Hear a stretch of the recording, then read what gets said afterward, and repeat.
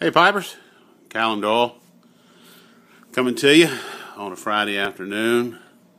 Thought I would do a little video response to Nathan Campbell's 500 sub contest and congratulations Nathan. That's a awful outstanding feat. Uh, you know, from where I'm sitting, I can't even think of getting 500 subs. But uh, uh, again, congratulations to you. And uh, so Nathan kind of wanted to know what we enjoy most out of pipe smoking. So I kind of thought about this, you know, and, and there's been some real good answers, and, and, and everything that kind of goes along with pipe smoking, the enjoyment, the uh, the rituals that go along with it, the relaxation, uh, you know, the the slowing down and taking time to kind of smell the roses, as to say.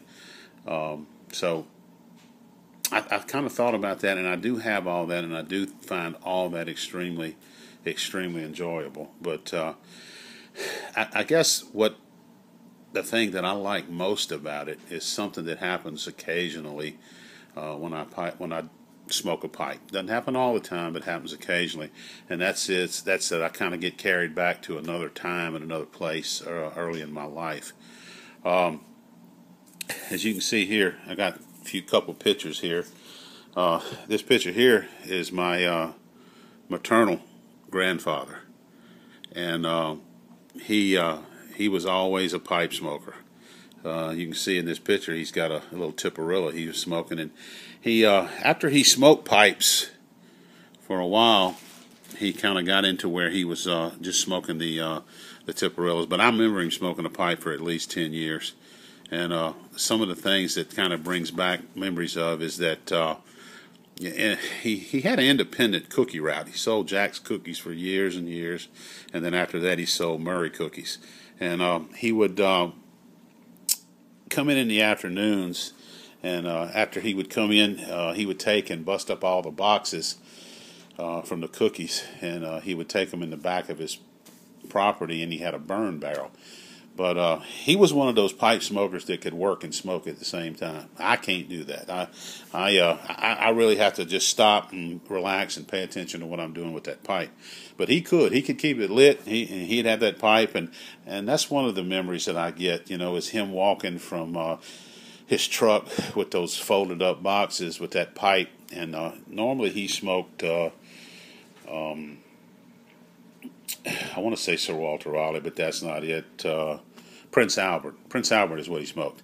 And uh, so sometimes I can smoke a little bowl of Prince Albert, and, and, and, and I get carried back to those times and where him and my grandmother lived not too far from us in Baton Rouge, and uh, we'd go over there and spend a lot of time. My grandmother liked to garden, but uh, anytime we were doing anything in the yard or outside or even inside, uh, that pipe was present. So that's that's that's one of the places that it takes me.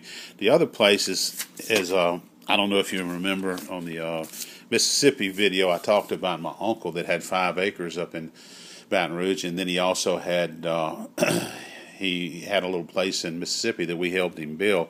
Well, his name was T Man, and he was known as my Uncle T Man. And uh, this is a real good picture of him, and uh, I mean, it just captures him perfect. And uh, he was a Granger smoker. And so if I smoke Granger, uh, you know, I'm kind of taken back to a place with him. And but he was a little different. He was more like me. He would uh, he was a he was a relaxation smoker. He he didn't smoke and work at the same time. But if we would be at his house in Baton Rouge and uh, uh, we'd be finishing doing something in the yard or in the garden or working on something in the shop or just whatever we might be doing, you know, we'd go back in the house or but but mostly I remember he had a breezeway. He had a house and then he had a screened in concrete floor breezeway between the house and the garage and we would sit there, and the breeze would come through, and uh, he would smoke that pipe. Uh, I really don't even know what kind of pipe he smoked, but he would smoke it and uh, smoked Granger all the time. And uh, what I remember from that is sitting there with my dad and maybe a couple other the brothers, and just sitting as a as a youngster and listening to him talk about.